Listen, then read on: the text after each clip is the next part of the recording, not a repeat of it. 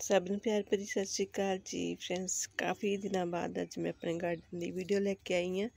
ਤੇ ਆ pink colour ਦੇ ਫਲਾਵਰਸ ਵੇਖ ਕੇ ਤੇ ਮੇਰਾ ਦਿਲ ਕੀਤਾ ਕਿ ਤੁਹਾਡੇ ਨਾਲ ਇਹ ਵੀਡੀਓ ਸ਼ੇਅਰ ਕਰਾਂ ਕਿ ਇਹ ਪਰਪਲ ਪਲਾਂਟ ਪਰਪਲ ਹਾਰਟ ਦਾ ਪਲਾਂਟ ਬਹੁਤ ਹੀ ਜ਼ਿਆਦਾ ਸੁੰਦਰ, ਬਹੁਤ ਹੀ ਕਮ ਕੇਅਰ ਵਾਲਾ, ਬਿਲਕੁਲ ਹੀ ਕਿਸੇ ਖਾਸ ਮਿਹਨਤ ਦੇ ਨਾਲ ਨਹੀਂ ਚੱਲਣ ਵਾਲਾ ਹੈਗਾ। ਬਿਲਕੁਲ ਸਿੰਪਲ ਕੇਅਰ ਹੈਗੀ ਹੈ ਇਹਦੀ। ਇਹ ਇੰਨਾ ਸੋਹਣਾ ਪਲਾਂਟ ਹੈ ਕਿ ਇਹਨੂੰ ਤੁਸੀਂ ਇੱਕ ਵਾਰੀ ਲਗਾ ਕੇ ਛੱਡ ਦਿਓ। ਇਹ ਕਦੀ ਵੀ ਤੁਹਾਡੇ ਗਾਰਡਨ 'ਚ ਨਹੀਂ ਜਾਏਗਾ। ਕਦੀ ਵੀ ਇਹਨੂੰ ਕੋਈ ਖਾਦ ਦੀ, ਕੋਈ ਪਾਣੀ ਦੀ, ਕਿਸੇ ਤਰ੍ਹਾਂ ਦੀ ਕੋਈ ਵੀ ਜ਼ਰੂਰਤ ਨਹੀਂ ਹੁੰਦੀ। ਹਮੇਸ਼ਾ ਇਹ ਆਪਣੇ ਆਪ ਹੀ ਗਰੋ ਹੋ ਜਾਂਦਾ, ਆਪਣੇ ਆਪ ਹੀ ਮਰ ਜਾਂਦਾ। ਅਗਲੇ ਸਾਲ ਫਿਰ ਤੋਂ ਫਰੇ, ਫਿਰ ਗਰੋ ਹੋ ਜਾਂਦਾ।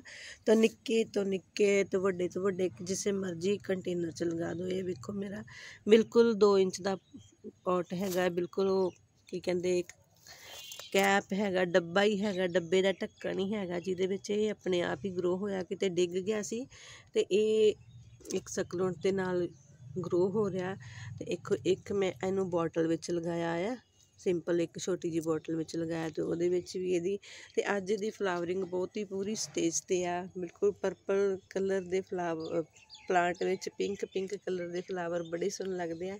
ਇਹ ਦੇਖੋ ਮੈਂ ਇਸ ਤਰ੍ਹਾਂ ਇਹਨੂੰ ਲਗਾਇਆ ਇੱਕ ਬੋਟਲ ਦੇ ਵਿੱਚ ਤੇ ਕਿੰਨਾ ਸੋਹਣਾ ਇਹ ਗਰੋ ਹੋ ਰਿਹਾ ਹੈ, ਹਨਾ? ਤੇ ਇੱਧਰ ਦੇਖੋ, ਬਾਕੀ ਹੋਰ ਵੀ ਫਲਾਵਰਸ ਮੇਰੇ ਬਹੁਤ ਖਿੜੇ ਹੋਏ ਆ। ਮੇਰੇ ਅਜੇ ਵੀ ਜਿਹੜੇ ਸਨਫਲਾਵਰ ਮੇਰੇ ਅਜੇ ਵੀ ਆ ਰਹੇ ਆ। ਕਾਫੀ ਕਲਰ ਕਿੰਨਾ ਪਿਆਰਾ ਲੱਗ ਰਿਹਾ ਇਹਨਾਂ ਦਾ। ਤੇ ਇੱਧਰ ਦੇਖੋ, ਇਹ ਵੀ ਹੈ। ਇੱਧਰ ਮੇਰਾ ਗੁਲਦਾਉਦੀ ਦੇ ਨਾਲ ਇਹ ਆਪਣੇ ਆਪ ਹੀ ਗਰੋ ਹੋਇਆ ਆ। ਇਹਨੂੰ ਮੈਂ ਕੱਟ ਦਿੰਨੀ ਆ, ਫਿਰ ਫਿਰ ਅਗਲੇ ਸਾਲ ਫਿਰ ਗਰੋ ਹੋ ਜਾਂਦਾ ਹੈ। ਤੇ ਇਹਦੀ ਫਲਾਵਰਿੰਗ ਵੇਖ ਕੇ ਤੇ ਮੈਂ ਕਿਹਾ ਚਲੋ ਅੱਜ ਮੈਂ ਤੁਹਾਡੇ ਲਈ ਵੀਡੀਓ ਹੀ ਤਿਆਰ ਕਰ ਦਿੰਨੀ ਆ ਕਿ ਇਸ ਪਲਾਂਟ ਨੂੰ ਅਗਰ ਤੁਸੀਂ ਲਗਾਉਣਾ ਚਾਹੁੰਦੇ ਹੋ ਤੇ ਲਗਾਓ। ਕਦੀ ਵੀ ਇਹ ਨਹੀਂ ਜਾਵੇਗਾ ਤੁਹਾਡੇ ਕਦੀ ਇਹਨੂੰ ਖਾਦ ਦੀ ਜ਼ਰੂਰਤ ਨਹੀਂ ਪੈਂਦੀ। ਜਿਸ ਤਰ੍ਹਾਂ ਮਰਜ਼ੀ ਦੇਖੋ, ਇਹ ਮੇਰੇ ਕੰਟੇਨਰ ਕ੍ਰੇਟ ਵਿੱਚ ਲੱਗਾ ਹੋਇਆ ਇੱਕ। ਦੇਖੋ ਇਹਦਾ ਫੈਲਾਅ ਵੇਖੋ ਕਿੰਨਾ ਜ਼ਿਆਦਾ ਹੋਇਆ ਹੈ ਉਧਰ ਤੱਕ ਪਹੁੰਚਿਆ ਹੋਇਆ ਸਾਰੇ।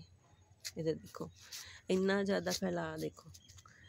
ਕੋਈ ਖਾਦ ਦੀ ਜ਼ਰੂਰਤ ਨਹੀਂ। ਮੈਂ ਫਰੈਂਡਸ ਇਹਨੂੰ ਕਦੀ ਕੋਈ ਖਾਦ ਨਹੀਂ ਪਾਈ। ਜਿਸ ਤਰ੍ਹਾਂ ਦੀ ਮਰਜ਼ੀ ਮਿੱਟੀ ਵਿੱਚ ਇਹ ਲੱਗ ਜਾਂਦਾ ਹੈ, ਧੁੱਪ ਵੀ ਲੱਗ ਜਾਂਦਾ, ਛਾਵੇਂ ਵੀ ਲੱਗ ਜਾਂਦਾ। ਕੋਈ ਇਹਨੂੰ ਸਨਲਾਈਟ ਦਾ ਕੋਈ ਜ਼ਿਆਦਾ ਨਹੀਂ ਹੈਗਾ। ਸਨਲਾਈਟ ਨਾਲ ਬਸ ਇਹ ਹੁੰਦਾ ਕਿ ਅਗਰ ਜ਼ਿਆਦਾ ਸਨਲਾਈਟ ਪਏਗੀ, ਤੇ ਇਹਦੀਆਂ ਪੱਤੀਆਂ ਦਾ ਕਲਰ ਥੋੜਾ ਸਿਰਫ ਲਾਈਟ ਹੋ ਜਾਏਗਾ ਤੇ ਅਗਰ ਥੋੜੀ ਛਾਂ 'ਚ ਰਹੇਗਾ, ਤਾਂ ਇਹਦੇ ਜਿਹੜੀ ਹੈ ਫਲਾਵਰਿੰਗ ਔਰ ਜਿਹੜੀ ਹੈ ਪੱਤੀਆਂ ਦਾ ਕਲਰ ਖਿੜ ਖਿੜ ਕੇ ਆਏਗਾ, ਡਾਰਕ ਕਲਰ ਦਾ ਹੋਏਗਾ ਤੇ ਜਿਸ ਤਰ੍ਹਾਂ ਵੀ ਮਰਜ਼ੀ ਇਹਨੂੰ ਗਰੋ ਕਰੋ, ਕਦੀ ਵੀ ਨਹੀਂ ਜਾਏਗਾ ਤੁਹਾਡੇ ਗਾਰਡਨ ਦੇ ਵਿੱਚੋਂ ਇਹ।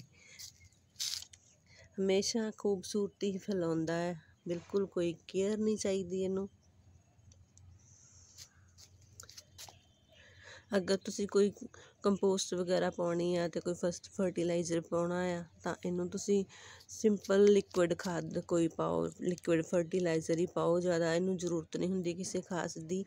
ਔਰ ਇਹ ਇਹ ਨਾ ਕਟਿੰਗ ਤੋਂ ਬਹੁਤ ਆਸਾਨੀ ਨਾਲ ਤਿਆਰ ਹੋ ਜਾਂਦਾ ਹੈ। ਇਸ ਤਰ੍ਹਾਂ ਇਹਦੇ ਇੱਕ ਮੈਂ ਤਾਂ ਕਟਿੰਗ ਤੋਂ ਹੀ ਬਹੁਤ ਤਿਆਰ ਕੀਤੇ, ਹੁਣ ਇਹ ਜ਼ਿਆਦਾ ਹੋ ਗਿਆ ਨਾ, ਇਸ ਤਰ੍ਹਾਂ ਮੈਂ ਜ਼ਿਆਦਾ ਇਹਦੀ ਇੱਥੋਂ ਕਟਿੰਗ ਕਰ, ਕਰਕੇ ਨਾ, ਮੈਂ ਕਾਫੀ ਸਾਰੇ ਹੋਰ ਪਲਾਂਟ ਬਣਾਉਂਦੇ ਨੇ, ਅਗਰ ਕਿਸੇ ਨੂੰ ਅਸੀਂ ਗਿਫਟ ਕਰਨੇ ਹੋਣ ਤਾਂ ਵੀ ਅਸੀਂ ਦੇ ਸਕਦੇ ਹਾਂ। ਇਹ ਪਾਣੀ ਵਿੱਚ ਵੀ ਬਹੁਤ ਵਧੀਆ ਗਰੋ ਹੋ ਜਾਂਦਾ, ਮੈਂ ਪਾਣੀ ਵਿੱਚ ਵੀ ਲਗਾਇਆ ਆ, ਤੇ ਇਹ ਜਿੰਨਾ ਚਿਰ ਮਰਜ਼ੀ ਪਿਆ ਰਵੇ, ਕੋਈ ਖਰਾਬ ਹੀ ਨਹੀਂ ਹੁੰਦਾ ਪਾਣੀ ਦੇ ਵਿੱਚ, ਬਹੁਤ ਆਸਾਨੀ ਨਾਲ ਚੱਲਦਾ ਰਹਿੰਦਾ ਆ। ਉਸ ਤਰ੍ਹਾਂ ਵੀ ਅਸੀਂ ਇਹਨੂੰ ਗਰੋ ਕਰ ਸਕਦੇ ਹਾਂ ਕਟਿੰਗ ਤੋਂ ਵੀ ਗਰੋ ਕਰ ਸਕਦੇ ਹਾਂ। ਇਹ ਰੂਟ, ਰੂਟਿੰਗ ਤੋਂ ਵੀ ਹੋ ਜਾਂਦਾ, ਆਪਣੇ ਆਪ ਹੀ ਹੁਣ ਗਰੋ ਹੁੰਦੇ ਰਹਿੰਦੇ, ਕਾਫੀ ਸਾਰੇ ਪਲਾਂਟ ਇਹਦੇ ਅੰਦਰੋਂ ਹੀ ਨਿਕਲਦੇ ਰਹਿੰਦੇ ਆ ਤਾਂ ਬਹੁਤ ਜ਼ਿਆਦਾ ਸੰਘਣਾ ਹੋ ਜਾਂਦਾ ਸਾਡਾ ਪੋਟ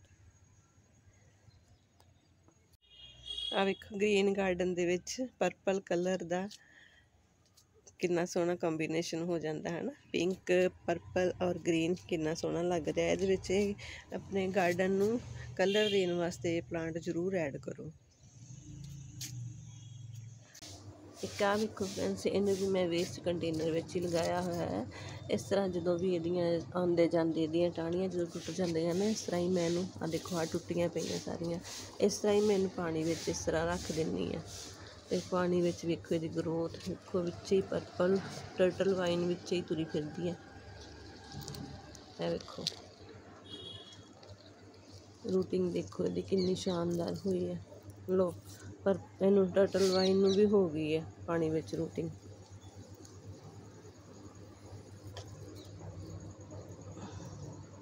ਉਹ ਵੇਖੋ ਕਿੰਨੀ ਵੱਡੀ ਹੋਈ ਹੈ ਇਹਦੀ। ਇਹ ਦੇਖੋ, ਪਾਣੀ ਵਿੱਚ ਪਾਣੀ ਵਿੱਚ ਦੇਖੋ ਕਿੰਨੀ ਵੱਡੀ ਇਹਦੀ ਹੋਈ ਹੈ ਸਟੈਮ ਆ ਕਾਫੀ ਦਿਨਾਂ ਤੋਂ ਆ ਦੇਖੋ ਆ ਦੇਖੋ ਇਹਦੀ ਰੂਟਿੰਗ ਦੇਖੋ ਕਿੰਨੀ ਸ਼ਾਨਦਾਰ ਆ, ਇਹ ਦੇਖੋ ਹੈ ਨਾ?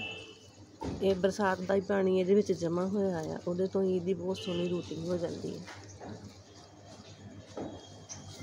ਇਹਦੀ ਲੰਬਾਈ ਵੇਖੋ ਕਿੰਨੀ ਜ਼ਿਆਦਾ ਹੈ ਪਾਣੀ ਦੇ ਵਿੱਚ, ਹੈ ਨਾ? ਬਹੁਤ ਜ਼ਿਆਦਾ ਲੈਂਥੀ ਹੋ ਜਾਂਦਾ ਹੈ। ਬਸ ਕਟਿੰਗ ਲਗਾਉਣ ਵਾਸਤੇ ਕੁਝ ਨਹੀਂ ਕਰਨਾ ਹੈਗਾ ਇਹਦਾ। ਬਸ ਇੱਕ ਕੋਈ ਵੀ ਇਹਦੇ ਸਟੈਮ ਤੋੜ ਕੇ, ਚਾਹੇ ਤੁਸੀਂ ਇੰਨੀ ਲੈ ਲਓ 1 ਇੰਚ ਦੀ ਲੈ ਲਓ 2 ਇੰਚ ਦੀ, ਬਸ ਜਿੱਥੋਂ ਪੱਤੀ ਨਿਕਲਦੀ ਆ, ਉਸ ਚੀਜ਼ ਦਾ ਧਿਆਨ ਰੱਖਣਾ ਆ ਕਿ ਜਿੱਥੋਂ ਪੱਤੀ ਨਿਕਲਦੀ ਆ, ਉੱਥੋਂ ਲੈ ਲੈਣੀ ਅਸੀਂ ਦੇਖੋ, ਇਸ ਤਰ੍ਹਾਂ ਕਰਕੇ ਤੇ ਇਹ ਥੱਲੇ ਵਾਲੀਆਂ ਪੱਤੀਆਂ ਥੋੜੀਆਂ ਜੀ ਹਟਾ ਦੇਣੀਆਂ ਇਹਦੀਆਂ। ਇਸ ਤਰ੍ਹਾਂ। ਇੱਕ ਦੋ ਪੱਤੀਆਂ ਹਟਾ ਦੇਣੀਆਂ ਥੱਲੇ ਵਾਲੀਆਂ। ਬਹੁਤ ਹੀ ਨਾਜ਼ੁਕ ਜਿਹਾ ਪਲਾਂਟ ਹੁੰਦਾ ਹੈ, ਝੱਟ ਹੀ ਟੁੱਟ ਜਾਂਦਾ ਹੈ। ਤੇ ਇਹਨੂੰ ਜਿਸ ਤਰ੍ਹਾਂ ਵੀ ਮਰਜ਼ੀ ਤੁਸੀਂ ਇਸ ਤਰ੍ਹਾਂ ਗਰੋ ਕਰ ਦੋਗੇ ਨਾ, ਇੱਥੇ ਰੱਖ ਦੋਗੇ। ਬਿਨਾ ਪਾਣੀ ਤੋਂ ਵੀ ਇਹਨੇ ਆਪਣੇ ਆਪ ਗਰੋ ਹੋ ਜਾਣਾ ਹੈ। ਇਹਨੂੰ ਕੋਈ ਇਹ ਵੀ ਨਹੀਂ ਆ ਕਿ ਨਾਲ ਦੀ ਨਾਲ ਕੋਈ ਪਾਣੀ ਦੇਣ ਦੀ ਜ਼ਰੂਰਤ ਆ। ਇਸੇ ਤਰ੍ਹਾਂ ਹੀ ਇਹਨੇ ਆਪਣੇ ਆਪ ਹੀ ਗਰੋ ਹੋ ਜਾਣਾ ਹੈ। ਬਹੁਤ ਆਸਾਨੀ ਨਾਲ ਚੱਲਣ ਵਾਲਾ ਪਲਾਂਟ ਫਰੈਂਡਸ ਜ਼ਰੂਰ ਲਗਾਓ ਆਪਣੇ ਗਾਰਡਨ ਦੇ ਵਿੱਚ। ਆਪਣੇ ਗਾਰਡਨ ਨੂੰ ਹੋਰ ਸੁੰਦਰ ਬਣਵਾਓ। ਤੋ ਕਿਸ ਤਰ੍ਹਾਂ ਦੀ ਲੱਗੀ ਅੱਜ ਦੀ ਵੀਡੀਓ ਕਮੈਂਟ ਕਰਕੇ ਦੱਸਣਾ। Thanks for watching friends